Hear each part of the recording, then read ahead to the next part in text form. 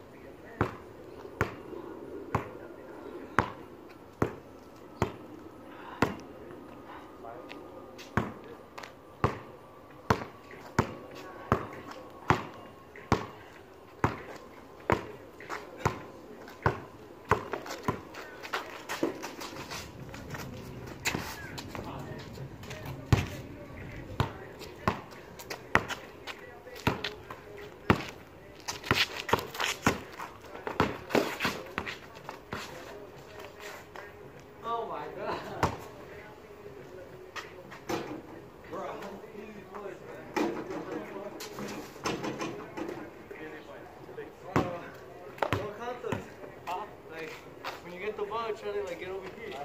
That's not fair.